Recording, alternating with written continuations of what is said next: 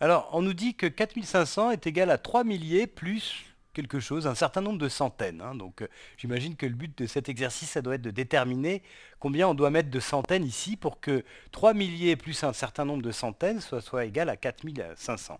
Voilà, alors pour commencer à faire ça, je vais d'abord réécrire ce nombre-là en me rappelant de ce que ça veut dire.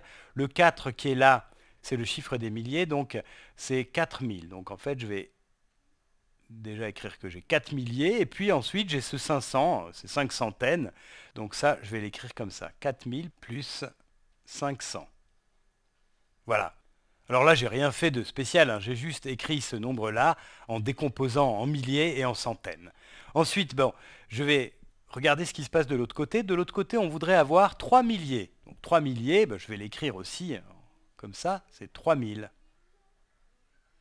Et puis, il faudrait ra- ajouter un certain nombre de centaines, mais je ne vais pas procéder comme ça parce que là, je ne sais pas comment faire. Donc en fait, ce que je vais faire, c'est me demander combien est-ce qu'il faut que je... Ici, j'ai 3000, je veux avoir 4500. Donc combien est-ce qu'il faut que je rajoute? Donc ce que je peux faire, c'est déjà commencer par rajouter 1000. hein. Je vais rajouter un millier, puisque je sais que je dois avoir 4 milliers dans mon nombre. Donc là, je vais avoir 3000 plus 1000, c'est-à-dire 4000, donc j'aurai cette partie-là. hein. Maintenant, il faut que je rajoute encore 500. Donc je vais rajouter 500. Voilà. Et là, effectivement, j'aurai 3000 plus 1000 plus 500, c'est-à-dire exactement 4500. Alors, maintenant, je vais faire quelques simplifications. Donc, je vais réécrire ça ici.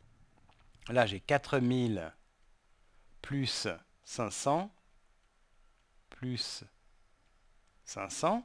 Et ça, ça est égal à... Alors, là, j'ai mes 3000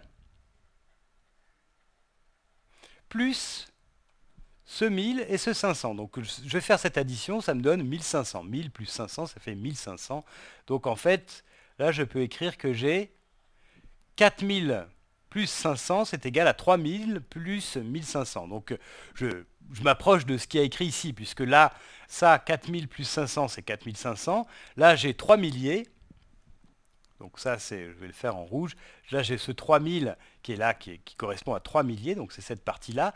Et puis maintenant, en fait, j'ai ce 1500 qu'il faudrait que j'arrive à exprimer en centaines, puisque ce que je veux, c'est des centaines ici. Alors comment est-ce que je peux exprimer ce 1500 en termes de centaines? Eh bien en fait, comment est-ce que je fais si j'ai 15 pour arriver à 1500 Je vais rajouter 2 zéros. Donc rajouter 2 zéros, ça veut dire multiplier par 100. Donc je, je sais que 15 fois 100, ça fait 1500. Là, quand je multiplie par 100, je rajoute 2 zéros. Donc si je, prends- je prends 15 et que je multiplie par 100, je vais trouver effectivement 1500. Donc ce 1500 qui est là, c'est 15 fois 100.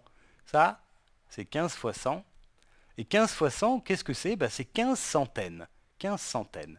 Et donc là, j'ai terminé puisque euh, je peux écrire que donc 4500, 4500, c'est 4000 plus 500, eh bien c'est égal à ces 3000 qui sont là. Donc 3000, c'est 3 milliers.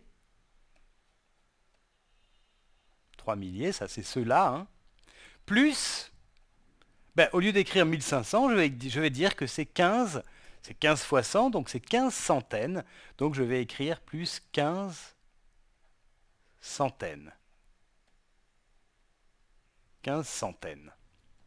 Donc finalement ici, le point d'interrogation qui était noté là, hein, ce point d'interrogation là, c'est 15. 15 centaines. 4500, c'est 3 milliers plus 15 centaines.